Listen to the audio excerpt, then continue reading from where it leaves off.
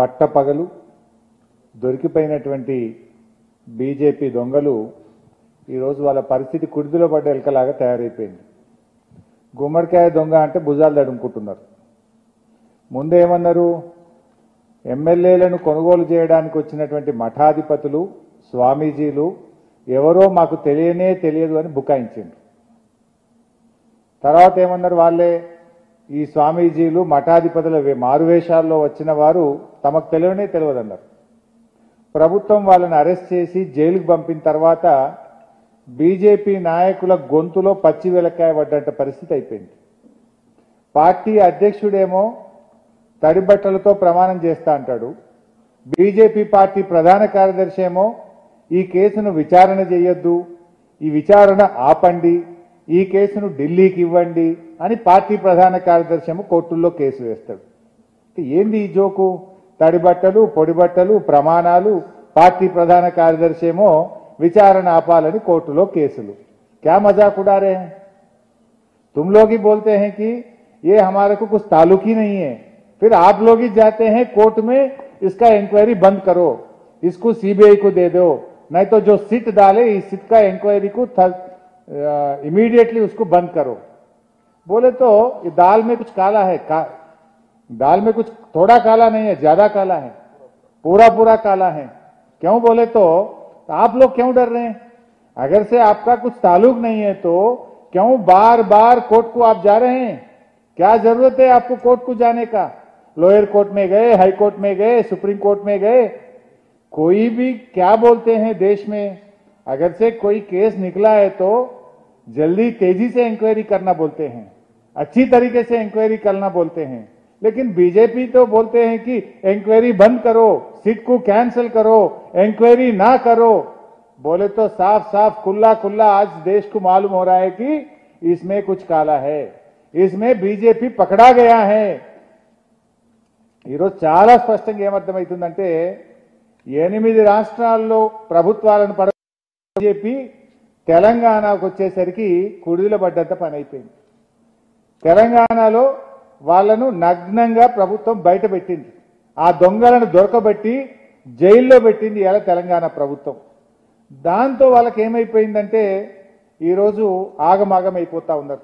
పాపం నిద్ర కూడా పోతున్నారు లేరు అన్నం తింటున్నారు లేదో పొద్దుగాల కోర్టు మధ్యాహ్నం కోర్టు సాయంత్రంకో కోర్టు ఇరవై నాలుగు గంటల్లోనే కోర్టు కేసు పోయి తలుపులను కొడుతున్నారు. నిజంగా మీకు సంబంధమే లేకపోతే ఎందుకు తలుపులు కొడుతున్నారు? ఇప్పుడు దేశవ్యాప్తంగా ఎమ్మెల్యేల కొనుగోలుపై టీవీ డిబేట్లు జరుగుతున్నాయి. నేషనల్ మీడియామే తెలుగు మీడియాలో అనేక రకమైన చర్చలు జరుగుతున్నాయి. చర్చల్లో బీజేపీ నాయకులు ఏం చెప్తున్నారు? ఈ కేసుతో మాకు సంబంధం లేదు. ఆ మఠాధిపతులు ఎవరో తెలియదు. ఆ మఠాధిపతులు కేసీఆర్ గారే పంపిండు అని రకరకాలుగా బురద జల్లే ప్రయత్నం చేసింది.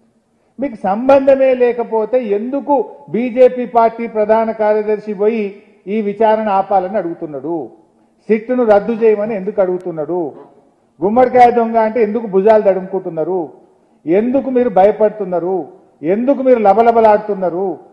చెప్పాలనా వద్దా? మొన్ననేమో మొదలు మొదట్లో ఏం చేసిండ్రు? ఈ కేసును సిబిఐకి ఇవ్వాలని చెప్పి ప్రేమేందర్ రెడ్డి గారు బీజేపీ ప్రధాన కార్యదర్శి గారు హైకోర్టుకు పోయింది మళ్ళీ ఈరోజు ఏం చేసిండ్రు? నిన్న గౌరవ ముఖ్యమంత్రి గారు తెలంగాణ ప్రభుత్వం నిష్పాక్షికంగా వేగంగా పారదర్శకంగా ఈ యొక్క విచారణ జరగాలని సిట్ను ప్రభుత్వం చేస్తే సిట్ విచారణ మళ్ళీ ఇవాళ హైకోర్టులో కేసేసింది.